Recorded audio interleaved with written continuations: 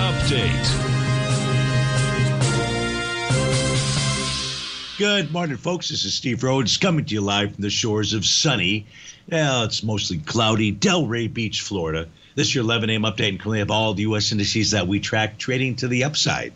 Dow's up 536 points, S&P 61, Nasdaq 100 180, Russell's up three tenths, uh, 33 points. That's one six that's really one and six tenths percent for the first three, nearly two percent for the Russell. Semis up two and a quarter percent, 58 points to the upside.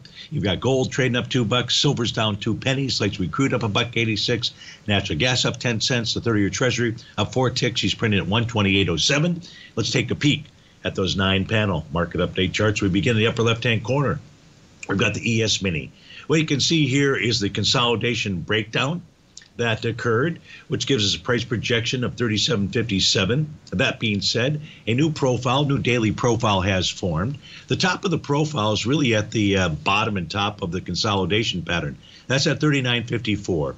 So odds favor that that's where the ES Mini is headed to, is the top of that profile, 39.54. Now note, uh, this profile likely will not be confirmed until this evening, but uh, right now it's holding steady. The spot volatility index is well below its 50-day exponential moving average. It's below yesterday's low.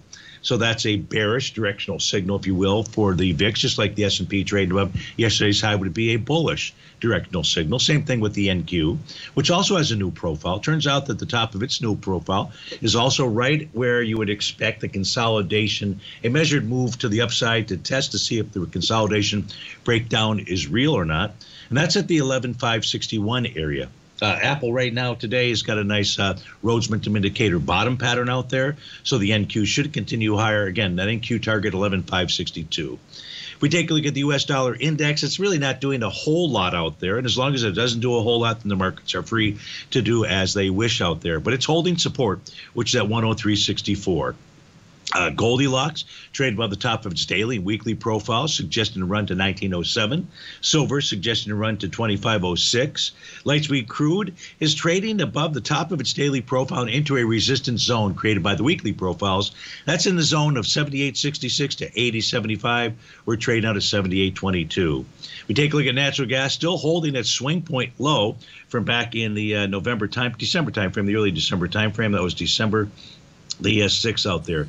A close below 525, as our man Brent pointed out yesterday, is likely going to lead to an A to B equals CD to the downside. We just don't have that signal as we speak.